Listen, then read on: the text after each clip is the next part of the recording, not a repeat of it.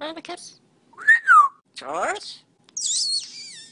How do you choose your first bird? Well, this is a really fun question because now if you want a bird, you are in for an amazing, amazing pet and a really, really fun life ride. Because let me tell you, birds are just one of the most incredible pets to watch and learn from and be fascinated by. We all know kind of what dogs are like. So when people come over and they see your bird and that you can hug your bird and kiss your bird and love your bird, it's fascinating. So you may have come across this situation and fallen in love with a bird. How do you choose him? Okay, so I think if you are ready to get a bird, or if you think you're ready to get a bird, you should not jump right into a big cockatoo or even an African gray because birds need a lot of attention and that's one of the things that people do not know. Sometimes birds need more attention than dogs. You want to make sure when you get a bird that he's never locked in a cage. I mean, sure, when you go out, you can lock him and then at night for his own safety. But the point of having a pet is to have a pet that you can hang out with and love, right?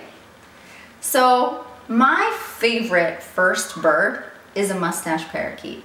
Mustache parakeets are extremely beautiful, as you can see. And see, if you can see his temperament, he's extremely calm, cool, and collected. Not all birds of the same species are exactly alike in personality, but there are some common traits that they share. So for example, you could get a wild mustache parakeet and he could be crazy and want to bite your head off. But by nature, if you get a baby, tame bird, even a bird that came from someone else, usually these birds are a really good starter bird. I love mustache parakeets because they're kind of quiet in the grand scheme of birds. Sure, when he screams, it's can be loud, but when he's not screaming, he's just chill like this. And when I go to him, he makes this little noise that's like, and that's pretty much it. Another thing is birds scream when they want something. So if you're giving your bird what you want, and usually that's for you to be around him, he's gonna be a lot quieter than you think.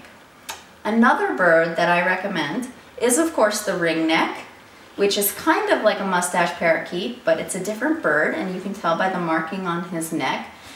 Those are really nice birds. They're fun, um, they can talk sometimes. It's not always guaranteed that your bird will talk, but they talk, and um, they're just really cute, kind of like him. And um, they've got a nice personality. I also like, which was my first bird, was a yellow cockatiel. Cockatiels are great, great first birds. I mean, in the grand scheme of things, if they're gonna bite you, it's not gonna be, even if it draws blood at worst case scenario, it's not like a macaw or a cockatoo biting you. A cockatiel is a really great starter bird, especially if you have children and um, they're smaller, a little bit smaller, but they're they're very, I don't know, they're just lovely, lovely birds. And a lot of people that start with cockatiels live the rest of their lives loving birds. Um, one thing to take into consideration, if you have seen something where you want a bird and you want to get a parakeet or a budgie or a finch, most of the time, that is not going to give you the satisfaction that you want from a bird. That's not going to be a bird that you can pet and hug and cuddle and uh, you're going to kind of give up on birds. So my advice to you is if you want a bird and it's your first time, start with a lovely bird like Picasso, a mustache parakeet, or a ringneck or a cockatiel. Um, don't start with a budgie or anything like that if you want to really interact with the bird. So that's my advice to you and I will go into more detail on birds in other videos.